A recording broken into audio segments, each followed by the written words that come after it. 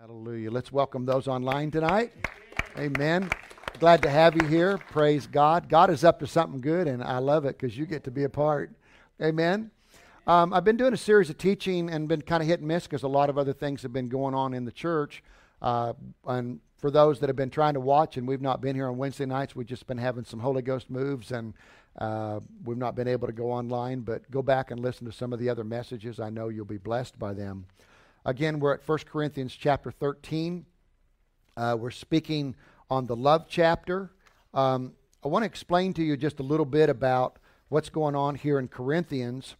Um, Paul is dealing with a rebellious people called the church. I know that probably ticked some of you off already, but the reality is, is there's a rebellious people in the church. And the reason why they're rebellious is because they're very religious. You have to understand that the Corinthian church came out of legalism. It came out of law. It came out of 613 commandments. And now they're having a personal relationship with Jesus Christ filled with the Holy Spirit and now happen to deal with some fleshly stuff. Anybody here have to deal with any fleshly stuff? And so when you begin to read, thank you, Brother John, when you begin to read uh, Corinthians and you begin to see this fleshly stuff that is going on in their lives, you begin to see that they are under so much bondage that Paul is saying, we've got to straighten this thing out.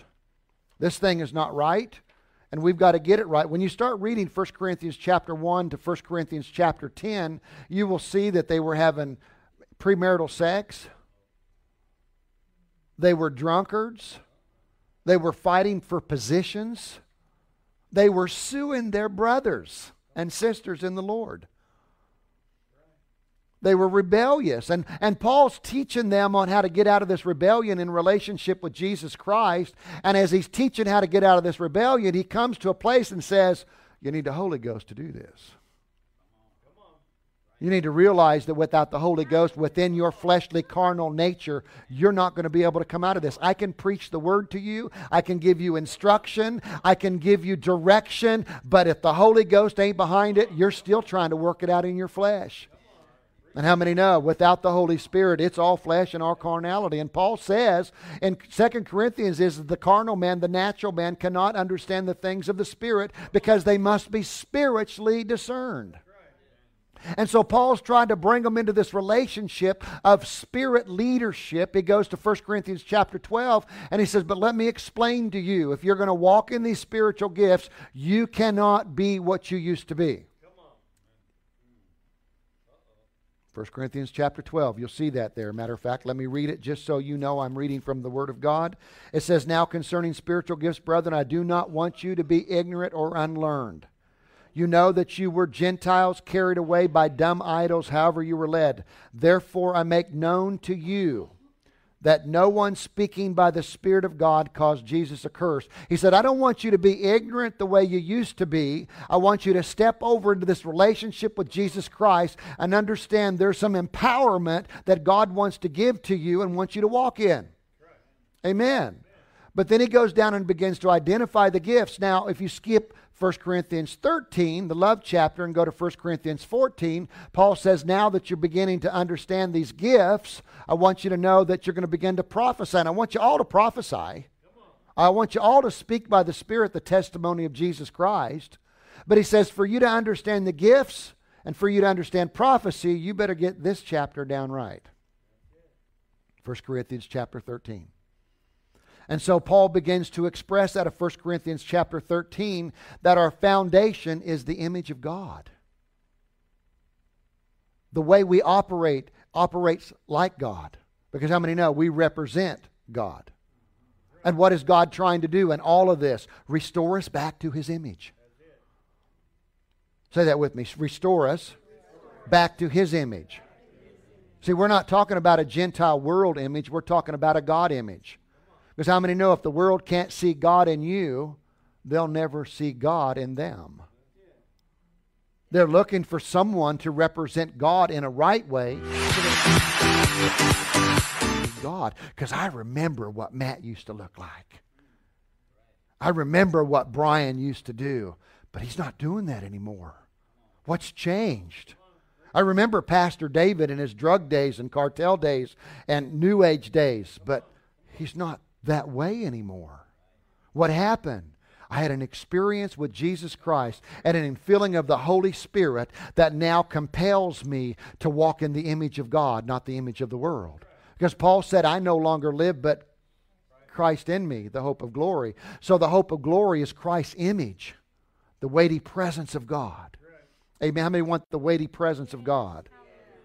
So we've got to get a hold of what Paul's trying to tell us here because he's telling us we can be blessed by walking in these gifts. We can be blessed by walking in the leadership of the Holy Spirit, but we need to be cautious on how we represent those gifts. Amen. We've gone through 1 Corinthians chapter 13, 1 through 3, and we talked about that you can have all understanding but not have love. You're just like a bunch of noise. Verse number 2, he tells us that we could have the gift of prophecy and know all mysteries and knowledge. But if we don't have love, we're nothing. He tells us in the third verse, and though we bestow all my goods to feed the poor, and though I give my body to be burned, but have not love, it profits me nothing. So, what is he saying here? He said, if you don't have love, you're nothing, you have no profit, and, and he also says, you're just a bunch of noise. Now, I know a bunch of Christians that are just a bunch of noise. Amen? I mean, they're great at talking, but they're terrible at walking. Come on, somebody. Am I telling the truth? You know, they claim Christ like, they claim the image of God, but what do they do? They live like the world. And as a result, God is misrepresented, and many people are turning away from the Lord because of the misrepresentation, and they're going, Why would I want to be like that? I'm already like that. Amen. So Paul's trying to straighten some stuff out, and he goes to verse number four and he says, Love suffers long and love is kind. We've already talked about love suffering long. That means you go the distance with whoever you need to go the distance representing Christ. You don't look like the world when you walk it out. You look like Christ when you walk it out, and you show that through the sufferings of Christ and through the relationship you have with Almighty God, you're willing to go whatever it takes the distance to help that person get there. Remember when I talked about this before? I talked to you about lights, camera, action.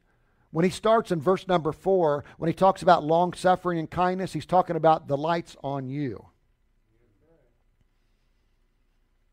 Just imagine a spotlight shining on you. It has nothing to do with anybody else but you. This isn't about what Kathy does. This is about what Terry does. This isn't about what Mike does. This is about what Mitch does. Individually, we have to consider our part. We cannot look at other people and say, I want to be like that or I don't want to be like that. No, you need to be looking at God and saying, I want to look like Him. Amen. This is about His image, this is about His representation. Amen. So the light's on you. And we talked about kindness. Kindness in dealing with kindness is when you're kind to unkind people, you're releasing an anointing. You're releasing the power of God. You're releasing the ability of God. Every time you're kind to someone that doesn't deserve kindness, but you do it anyway, there's something going on as God stretches out his hand through you. Come on, when you don't want to open the door for that person, but you choose to do it anyway, and they went, Oh, they just opened the door for me. I mean, no, it changes something within the heart of the individual. Amen. We talked about kindness being the power of God, being released to a world who truly, truly needs Him. Amen? How many know we need to learn to walk in kindness? The Bible goes on and says that we should not envy. What does that really mean? It means that we need to at all times consider others equal to us. We shouldn't want what they have. We shouldn't, you know, desire them uh, what they've got for ourselves. We shouldn't be jealous. We shouldn't say, I can't believe God will do that for them, but why did He do it for me? I mean, no, that's envy. We need to realize God is no respecter of persons. If He done it for Matt, He'll do it for me. If He done it for Josh, He'll do it for me. Amen? So we need to not walk in envy. You know, it's like that person that opens up Facebook we talked about, and all they do is they see people there in the Bahamas. Did you see their chairs? And they're looking out on the water, and I'm sitting over here in Joplin, Missouri, and it's freezing cold, and there's snow on the ground. I mean, no, it's envious. You need to celebrate their celebration just as much as someone else celebrates yours. Amen? That's why we have a motto here. When somebody gets blessed, what do we say? It's like almost a car horn going off. What was that? What was it? or as Matt would do, Wah. Amen. How many know we can have fun in the church? See, if you're not walking in the image of God, Paul tells us in 1 Timothy chapter 3 that there's going to be savage, critical times that's going to come upon the earth. People are going to be self assuming, haughty, puffed up with pride, no natural affections, lovers of self rather than lovers of God. And he tells you what to do with it turn away. See, we can't run with people that's turning us away from God. We got to run with people that's turning us on to God so that we that are turned on to God can help others find Him. Amen? Amen. So the next one says, Love does not parade itself. How many likes a good parade? If you've ever gone like to the Maple Leaf Parade and you see all of these different floats and you see all of the fire department and all the police department and you shoot all the Shriners, no, excuse me, I didn't say that. Um, yeah, the little Shriners. They bring through all their little Corvettes and you know all that stuff. I mean, no, it, it's just a show. It's what it is. It's a show. Do you know if you've ever watched the Macy's parade? It's a show. Amen. The Orange Bowl parade. It's a show.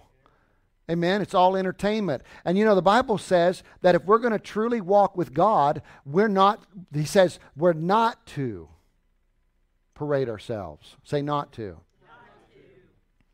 Or the scripture says does not. That means it doesn't do it. It doesn't exalt itself. It doesn't put itself on a pedestal. Amen. It's not showy.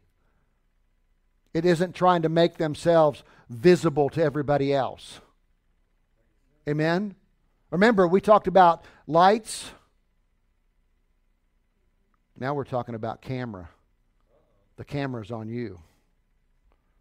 What are people seeing? Because their camera's on you.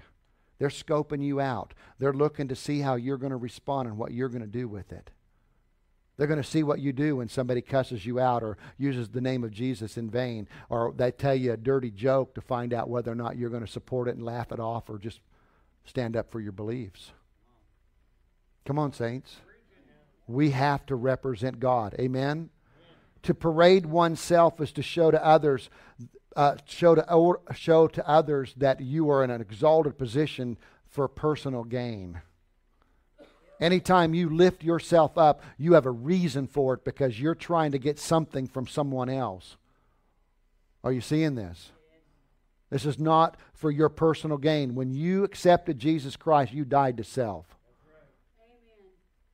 You're not supposed to be live. You're supposed to be dead, living for Christ. Amen. Let me show you a couple examples I think is really good. Mark chapter 1 and verse number 40 through 44. Uh, Jesus himself was a great example to not exalt himself. And how many know he had every right to exalt himself? I mean, he's the Son of the living God.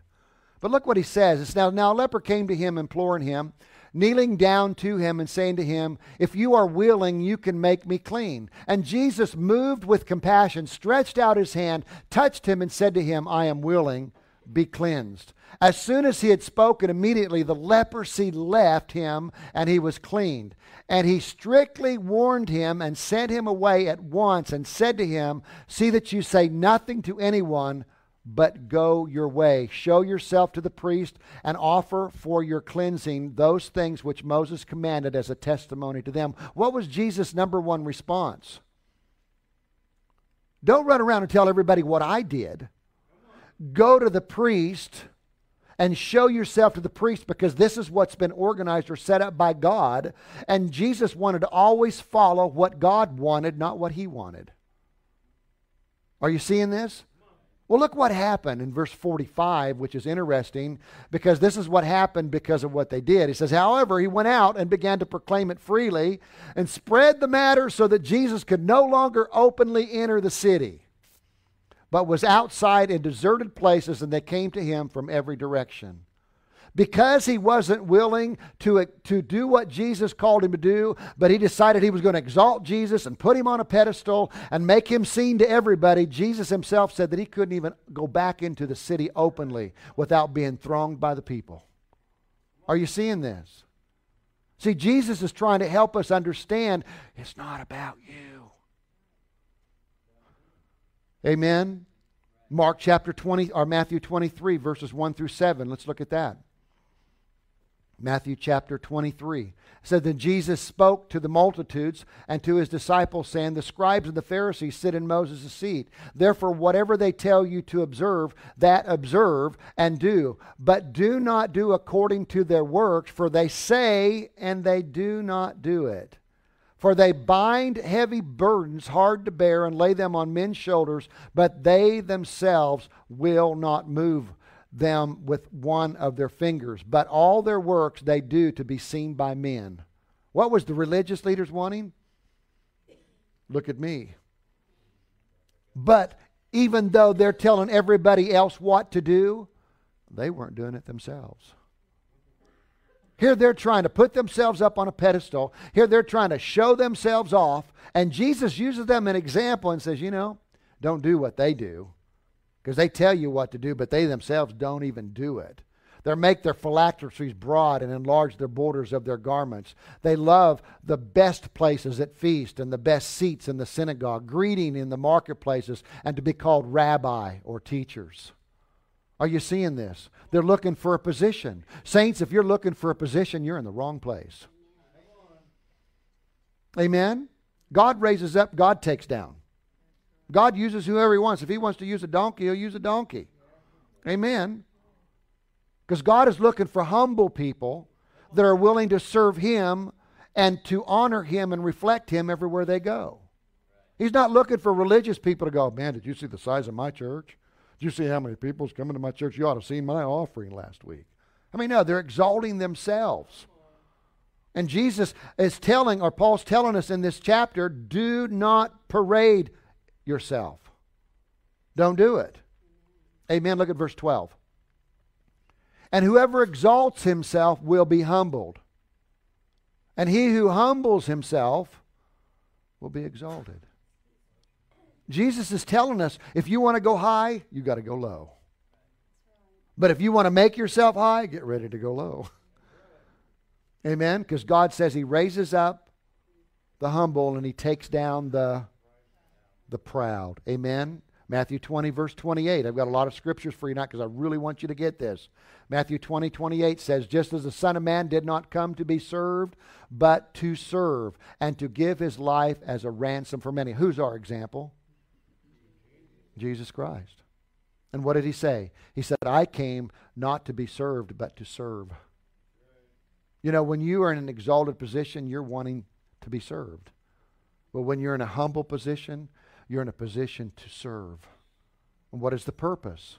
Jesus just showed you for the benefit of everybody else. We've got to learn, saints, that we're here for Him. If we can't learn this, we're going to miss out on a lot that's getting ready to happen in these last days. I'm telling you, the former and latter rain of the Holy Ghost is getting ready to pour out. The harvest is coming in. And let me tell you what, you're either going to cause people to come in or you're going to cause people to stay out. And that's serious stuff. Amen? Amen? So what did he do? He came to what? To serve. See, to parade someone, to parade yourself around is self-exaltation. It's the promotion of you, not the promotion of God. Amen? Um, if you're drawing attention to yourself and not to the needs of what God wants, that's parading itself. You know, are you doing it for your benefit or are you doing it for His benefit? Everything I do in prayer isn't so that I can learn more and be closer to God and have all the benefits of God. My prayer life is about knowing you and being on a course that you want me on to help others. You know, I could sit around and talk about all my needs to God all day long and pray about all my needs and make it all about me. And saints, when I when I accepted Christ, I, I no longer have to worry about what God needs to do for me because God said he takes care of all my need according to his riches and glory. Since I have switched over to his way of doing, he takes care of my way of doing. I'm no longer trying to work in relationship with God. I'm living in relationship with God. And in living in relationship with somebody, now you feel comfortable to where you can actually take that relationship and help others find it as well. It's no longer works. It's no longer me trying to work it up and trying to testify it up and trying to go out and do all these things. You know, I'm walking with God and God's walking with me, and everywhere I go, I want people to see Him. I want them to see Him, not me. Amen. Amen? He says, does not parade itself. Amen? Does not draw attention to himself, but draws attention to God. So ask yourself, are you drawing attention to God everywhere you go? Amen. Amen. That, that would be my hope too. Amen. As a Christian, my number one focus is what Jesus told us to do to love God with all my heart, all my strength, and all my soul, and to love my neighbor as myself. He didn't tell me to love myself. he told me to love them as I would love myself. You know, I'm so in love with me.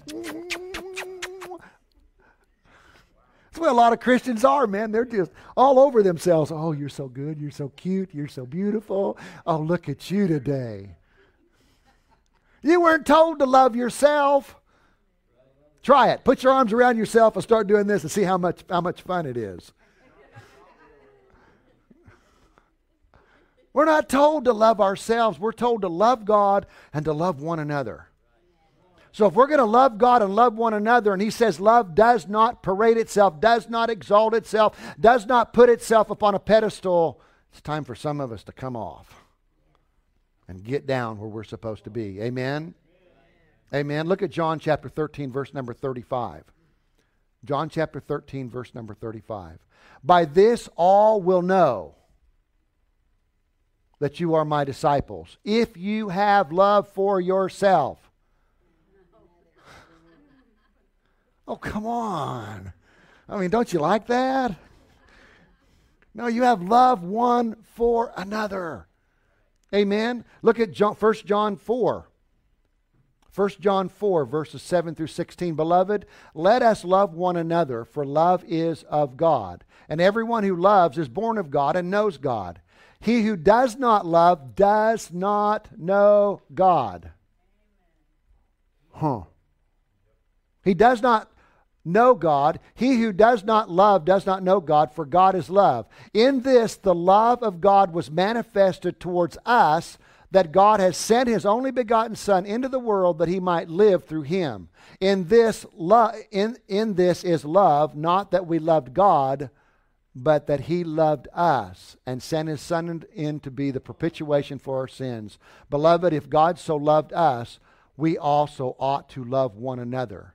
No one has seen God at any time. If we love one another, God abides in us, and his love has been perfected in us. By this we know that we abide in him and he in us, because he has given us of his Spirit. And we have seen and testify that the Father has sent the Son as the Savior of the world. Whoever confesses that Jesus is the Son of God, God abides in him and he in God. And we have known and believed the love that God has for us. God is love, and he who abides in love abides in God and God in him. So he sent his Son so that we might be reconciled to God, so that we could know the love of God, and then we can know the love of Christ, and that we could walk in the love one for another.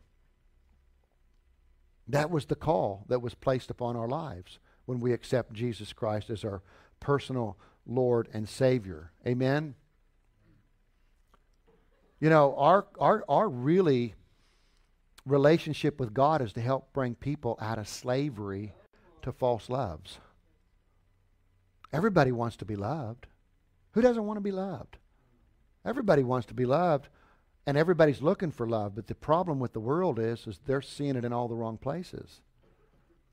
What's worse than that is they say they're coming to church, but they're not being loved. They're being escorted out. They're being told what to do and what not to do. They're giving them the law instead of the love of Christ. Amen? We need, we need to love the way God wants to love. Let me, let me share a few examples with you. That's, I'm just going to go through them, John. I don't think you have to pull them all up. But, uh, and, and well, go ahead and pull up Philippians 2. I think this is important you see that. Philippians 2, 5 through 8. So this, let this mind be in you, which is also in Christ Jesus. So he's saying, you need to think like this who being in the form of God did not consider it robbery to be equal to God or with God, but made himself of what? a person that parades themselves is looking for a reputation taking on the form of a bondservant and coming in the likeness of men. And being found in the appearance as a man, he humbled himself and became obedient to the point of death, even the death of the cross. Therefore, God also highly exalted. Remember, you humble yourself, God lifts you up. Highly exalted him and given him a name which is above every name, that the name of Jesus every knee shall bow, and those in heaven and those on the earth and those under the earth, and that every tongue should confess that Jesus Christ is Lord and the glory of, the, of God and the Father. Do you see what he said? He says, because of this love, because of this humility, because he didn't exalt himself, God said that he raised him up into an exalted position so that others could come in. See, God wants to raise you up, but he wants to raise you up to the obedience of him so that when you represent him, others will come into the saving grace of Christ. Amen?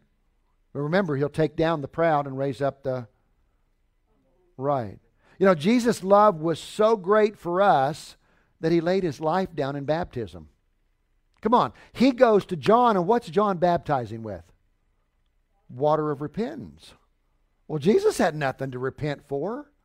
Jesus could have went down there and go, you know, John, you don't have to do this. You know, I'm the Son of God, and I've got no sin in me. And so I'm just going to ignore this and then I'm just going to go off and do what God wants me to do. No. Jesus himself humbled himself under the water of repentance and allowed a man to baptize a non sinner so that he could come up and fulfill the things of God. Jesus knew that he had to do this to fulfill uh, the prophecies of the Old Testament. Jesus knew that he had to do this to set an example to you and me so that we would not exalt ourselves in the kingdom of God. Amen? Jesus' love was so powerful that when he went it to the cross, he did it without a word. He could have said a lot. I watched a show last night uh, called um, um, After the Resurrection, and it was a Old Testament show that did modern day teaching in how when Peter and John was filled with the Holy Spirit and came down to Gate Beautiful and laid hands upon the man and said, Silver and gold I have not, but what I have. They did nothing but scriptures through this whole thing, all the way through Peter, John, uh, Saul that became Paul, you know, Ananias that laid hands upon. And I'm telling you what, you talking about humble men. When, when, when, when Peter stood up to tell them about the death of Jesus Christ, he's choking on his words. They killed the Messiah. Even though he knew the power, even he knew the anointing that he had, even though he's seen people healed and delivered, he was so humbled because of the loss of something that broke his heart that he saw Jesus had to go through.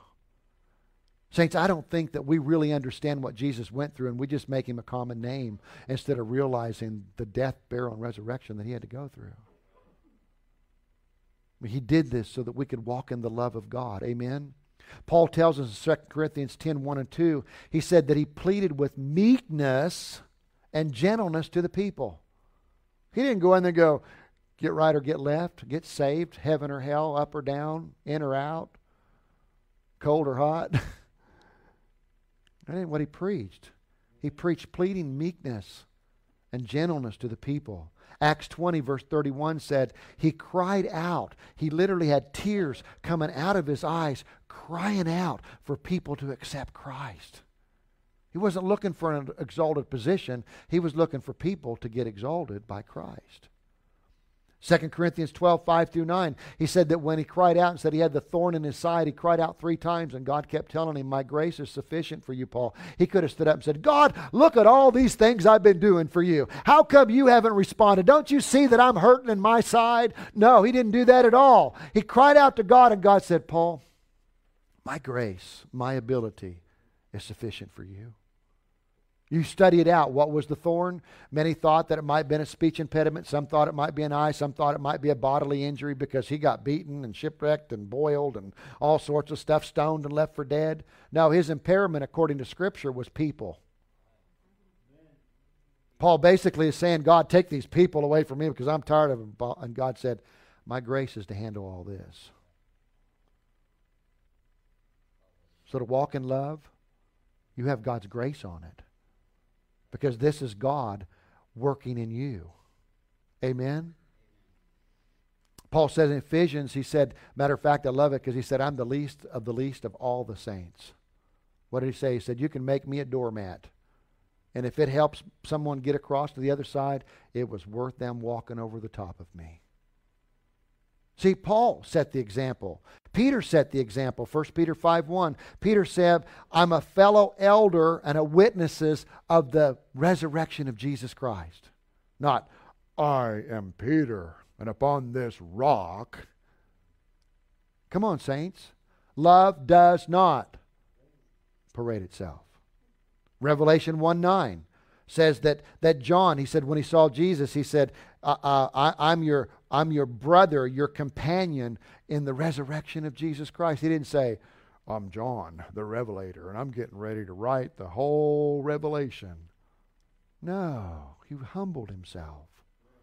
Amen. What is the difference between a person who is, is not um, parading themselves? It's, it's the difference between humility and pride. Are you seeing this? Um, Mark chapter 9, verse 35 says, If you desire to be first, you need to realize you're really last. You're trying to position yourself. Pride is looking for glory. Pride is looking to show off. Matter of fact, one of the scholars said that pride not, not only is, is a root, but it means to be mean spirited.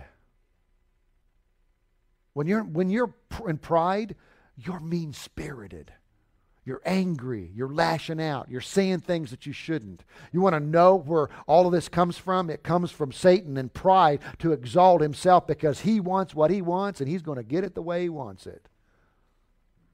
Is this helping anybody tonight? Because, Saints, we've got to imitate Christ. We've got to show the world how great he is. Amen? Paul said in 1 Timothy verses 1, 13 and 15, he says, Jesus came to save the sinners, and he said, Oh, and by the way, I'm the chief sinner.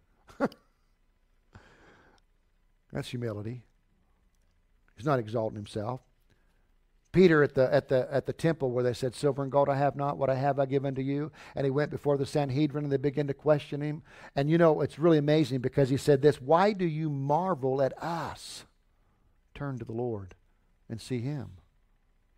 I mean, they could have exalted themselves. Oh, yeah, I was the one that laid hands upon him. Oh, you should have seen it. Remember what happened when the disciples went out and he blew the breath of the Holy Spirit upon them? And they went out and they came back and said, Boy, I mean, we laid hands on the sick, we cast out devils, and even the demons were subject to us. And Jesus immediately came back and didn't go, That's great job, guys. No, he came back and said, Hey, be careful. Just remember this your name's written in the Lamb's Book of Life, and that's all you need to know. Amen. Humility defends others even when they're not worth defending, according to you. You defend others. You don't fault find. You don't criticize. Amen. Remember what happened when Miriam began to get onto Moses and said, I cannot believe that you married that Ethiopian black woman. Well, you know what happened? She was trying to take a position over Moses, and God showed up. And when God showed up, gave her leprosy, and Moses cried out, he didn't go, You deserve that, Miriam. You should have never said anything about my wife. No. He cried out and said, God, don't kill her with this. And God said, I'll put her out of the, out of the camp for seven days, and then I'll take the leprosy off and bring her back in. Moses knew not to exalt himself, but knew to walk in humility because it, it meant the salvation of his sister. Are you seeing this? So we must understand that what we do affects others. We've got to see this. If you don't get anything else out of this sermon tonight, what you do affects others. It's either going to send them to heaven or send them to hell. And we need to really take this seriously. Amen. Luke 6, 27 through 36. You can write that down and please look at it later. 1 John 4, 8. He who does not love does not know God. Ephesians 4 2 and 3 talked about being gentle and patience, bearing with one another in love. Colossians 3 12 through 16 says, Clothe yourself in love. When you get up in the morning, put love on. Amen? See, you know what pride does? It's always looking for that pat on the back. Uh huh. Having, you know, a high opinion of themselves. Humility accepts his faults and weaknesses and tries to correct it. Pride doesn't see his faults and weaknesses. You know, have you ever seen that person that's done wrong and you know they've done wrong, but they won't tell you they've done wrong because, as far as they're concerned, they're right?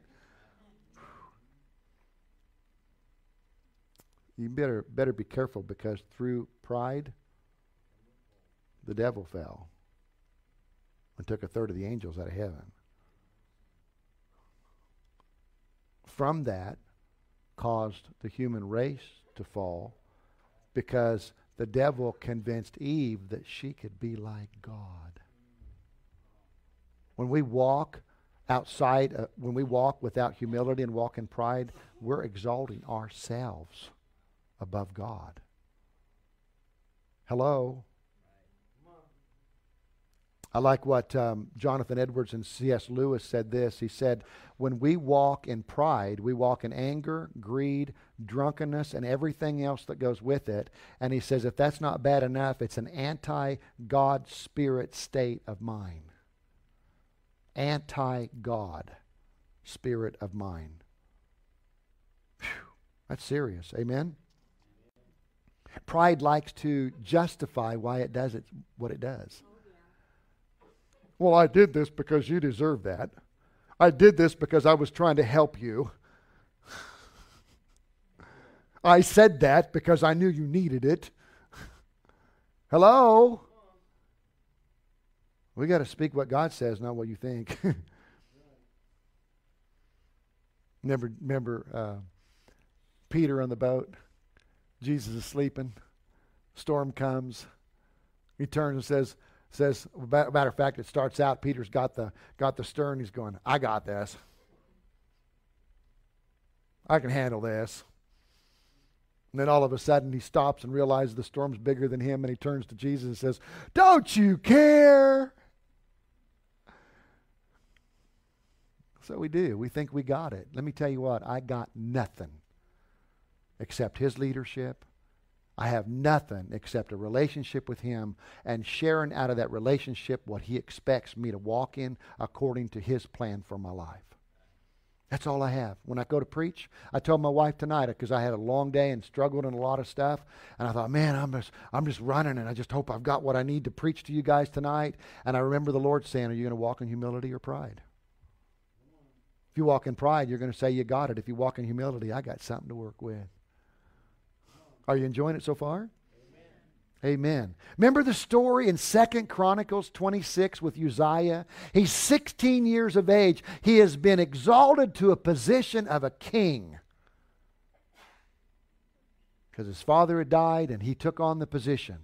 And look what it says in uh, 2 Chronicles 26 5. This is so good. He says, He sought God in the days of Zechariah, who had understanding in the visions of God. And, and as long as he sought the Lord, God made him prosper. Yes. 16 years of age, he knew follow the prophet, follow what God is saying. So God begins to exalt him. Man, God provides provision, provides kingdoms, provide armies, provides staff, provides all this stuff for Uzziah. I mean, the kid is just blessed. Amen. But then it says in chapter 26, verse 15, just a few verses later, and he made devices in Jerusalem, invented by skillful men, to be on the towers and the corners, to shoot arrows and large stones. So his fame spread far and wide, for he was marvelously helped till he became strong. But when he was strong, his heart was lifted up to his destruction, for he transgressed against the Lord his God by entering the temple of the Lord to burn incense on the altar of incense. What did he do? He got his eyes off of the one that raised him up. Saints, God can take you down but he would rather raise you up. I mean, saints, there's going to be some blessings that's going to come. There's going to be some things that God's going to provide for you. There's going to be some supernatural things as this harvest begins to happen. God's going to begin to bless. God's going to begin to multiply. And God's going to begin to do Be careful. Because just as fast as he raised you up, he'll take you right on back down. Amen.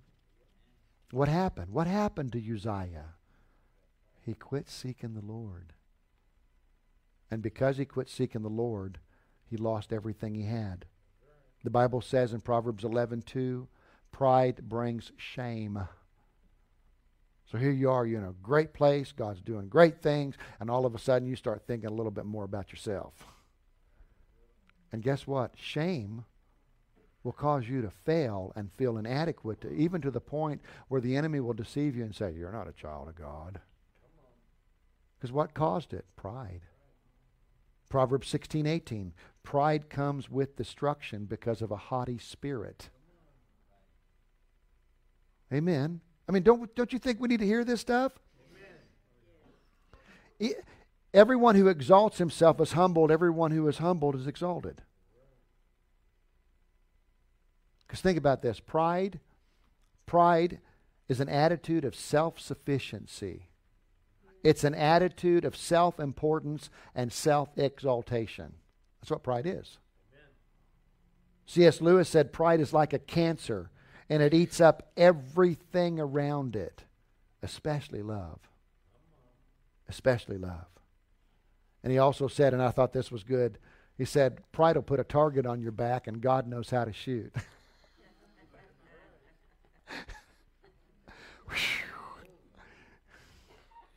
And we know he knows how to shoot. Amen? Amen? So ask yourself tonight do you have pride?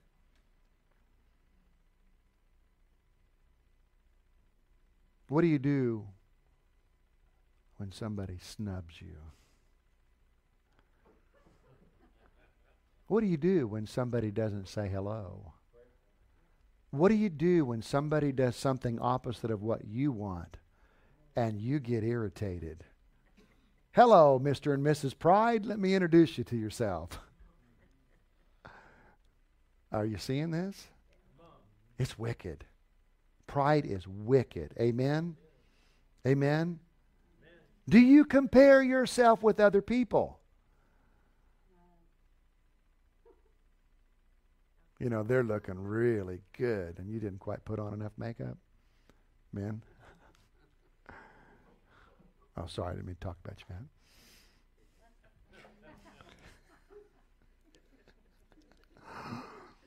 or, you know, you know, I mean, you turn on the television and it's Christian. And there's a man standing up there that's got tattoos all over his body talking about Jesus. And you go, I can't believe they're doing that. Hello, pride. It's true. You didn't like their music. Hello, pride. I didn't like the way they talked with an accent. Hello, pride. Who are you to determine what you like and don't like? We're all in the image of God, and we all have different things that we do, and we all have different ways of, of showing that. But the reality is, is we're not trying to exalt ourselves, we're trying to exalt Him. And when you're trying to do it your way and not His way, you have just walked yourself right into pride. I'm telling you, God's telling us here, we want to walk in power, we want to walk in prophecy. We better get a hold of this love chapter. We haven't even gotten into all the other things I'm about to talk to you about over these next several weeks.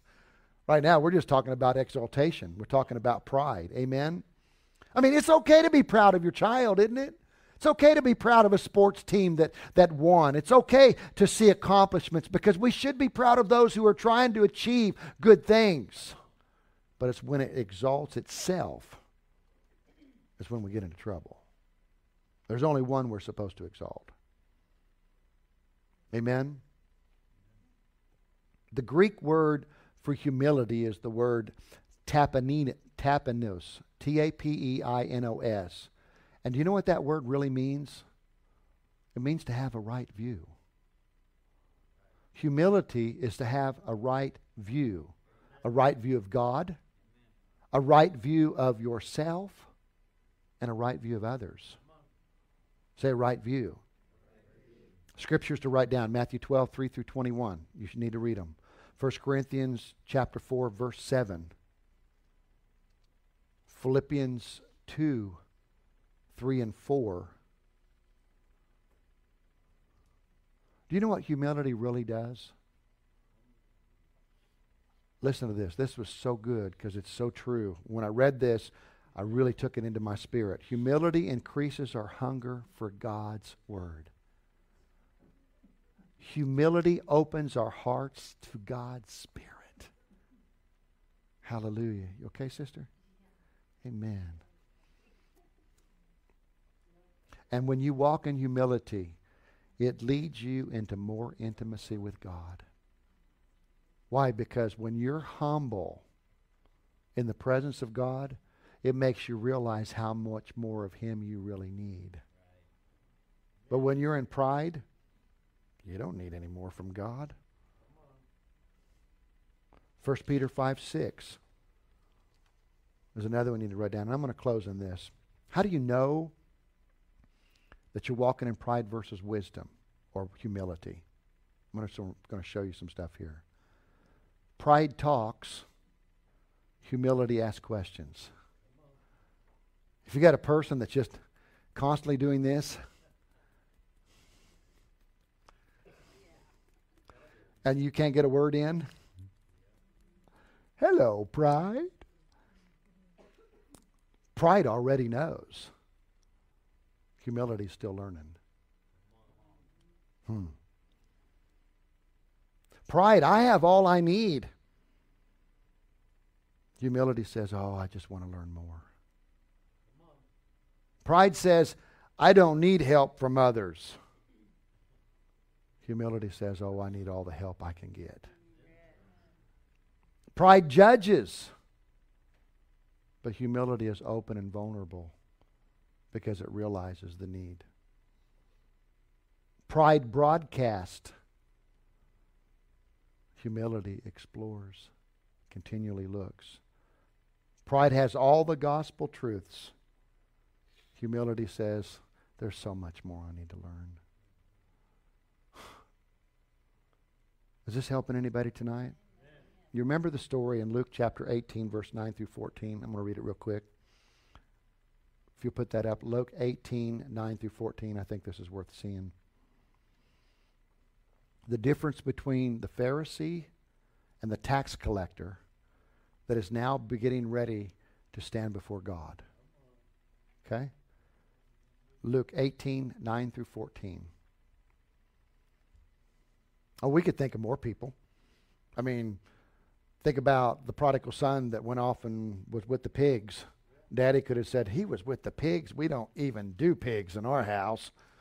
And Daddy could have said, No way, you ain't coming home to my place. But Daddy opened his arms and said, Come on back. Why? Because his son came back in humility. But there was another side of the coin, and that was a brother that was prideful and said, I can't believe you let him back in the house. You're still giving him all our inheritance, and I've been here all along. Pride. Right? He spoke this parable to some who trusted in themselves. Trusted what? That they were righteous. And despised other. Two men went up to the temple to pray. One a Pharisee, the other a tax collector. The Pharisee stood and prayed thus with himself God, I thank you that I am not like other men extortioners, unjust, adulterers, or even tax collectors. I fast twice a week. I give tithes of all that I possess. And the tax collector, standing off from afar, would not so much as raise his eyes to heaven, but beat his breast, saying, God, be merciful to me, a sinner. I tell you, this man went down to his house justified rather than the other. For everyone who exalts himself will be humbled, and he who humbles himself will be exalted. What an example. Listen to this. The Pharisee trusted himself, the tax collector trusted God. The Pharisees sees the contempt that others carry, but the tax collector saw the grace of the sin he carried. The, the, the Pharisees praised himself. The tax collector praised God. The Pharisee says, I've got no sin. Look at all I've done. But the tax collector said, Oh, I'm full of sin. The Pharisee says, I'm not even going to thank God for this because I've done this. But the tax collector said, He did it. The Bible says love does not. Put it this way Pastor David does not parade himself. Pastor Linda does not parade itself. Sister Cindy does not parade itself. Put your name there. This is what you have to look at tonight. Because if you are exalting yourself, I promise you, you're about to come down. Because when His Word goes forth, and you know His Word, and you choose not to follow His Word, remember, you've got a target on your back.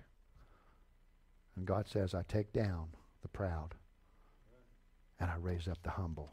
Amen? The Pharisees were self dependent. The tax collector was God dependent. The Pharisee was self righteous. The tax collector was Christ righteous. Which are you? Father, I thank you tonight for your word. I'm so humbled in your presence just to be even stand up here and share what you've given us tonight. And God, I know that each and every one of these are righteous, holy men and women of God, desiring to please you. And I ask to the sound of my voice that every person in this place and every person online say, Holy Spirit, help me not to exalt myself, but exalt you. I know there's areas in my life that I am self exalted. And I repent. And I ask you, convict my heart from this day forward. So when people see me, they will see you. In Jesus' name. Can we give God some praise tonight? There's so much more I wanted to share. There's so many more scriptures I wanted to get into. There was because it's all the way through scripture. All the way through scripture. From the very beginning all the way to the end. Because we know that in the end there's going to be one called the Antichrist that's going to exalt himself. But I'm telling you what, there's an hour coming where he's going to be taken down. He does not win. Much as he thinks he's got a, got a handle on this, his day's coming.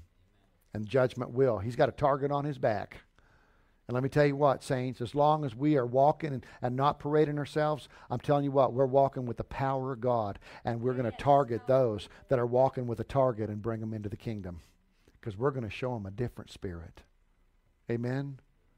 We're going to show them a Joshua spirit, a Caleb spirit that knows that no matter what it looks like out there, even though they look like we're grasshoppers and there's giants in the land, we're going out with the power of God that is more than able to carry us through. Whew! Come on, somebody. And I encourage you online tonight that if you've not accepted Jesus Christ as your personal Lord and Savior, I would, accept, I would, I would ask you to do so tonight. You say, well, how do I do this? I've got so many problems. I've got so many issues. Yield and give your heart to Him and let Him come in, and He'll help you. Because, saints, I'm telling you, you can't do this without Him. I was messed up drugs, alcohol, immorality, into pornography, into drugs, into New Age, even got into a cult for eight and a half years. But the day when I opened up my heart and I allowed Jesus to come in, because I will tell you this every denomination will kill you. But Christ is the only thing that'll save you. I don't care what name they put on the title of their church or what, what, what cult that they might be in. The only way to truly come out of all of it, including the world, is to accept Jesus Christ as your Lord and Savior. And when you open up your heart, what you're saying is, Lord, come in and sup with me and take over my life. And when you do, you're not only Savior, but you're Lord of my life. And when you're Lord of my life, that means you lead and I follow and then ask Him to fill you with the Holy Ghost. And I promise you, your life will never be the same. We love you, and I pray that you'll take that seriously and you'll spend some time with Him. It's not a religious call, it's not taking you through some sinner's prayer, even though we can do that. The reality is, you get real with God, and God will get real with you. We love you, and we look forward to seeing you next week.